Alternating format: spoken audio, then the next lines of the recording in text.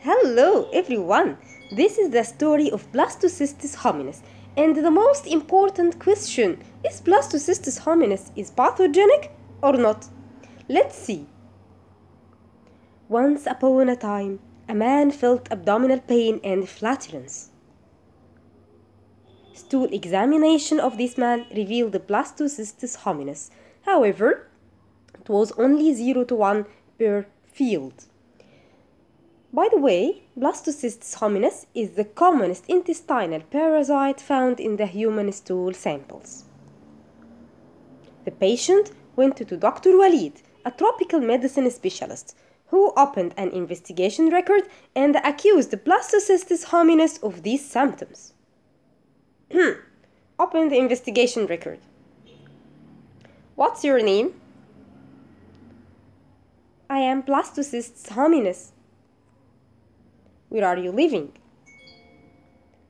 I'm living in large intestine. Give me your ID. Here you are. Oh, okay. You changed your family from Protozoa to Stramenopila.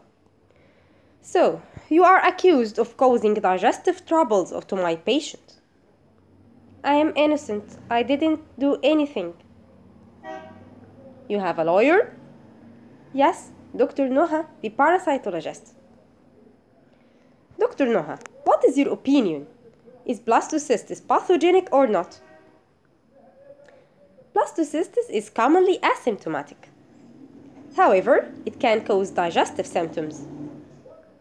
Also, it is more found in inflammatory bowel disease patients and irritable bowel syndrome patients. Recently, it is reported with arthritis and allergy. Also, it, was, it wasn't associated with any other parasite. However, it was only 0 to 1 per field under the microscope. What's your opinion, Dr. Walid? Okay, uh, because the patient is suffering and as we can't accuse any other cause, so the decision is that blastocystis hominis in that patient is guilty, it is pathogenic. And the patient will take metronidazole 750 milligrams three times daily for five days. Thank you, Dr. Noha. Thank you, Dr. Walid. I am sorry, blastocystis. I tried.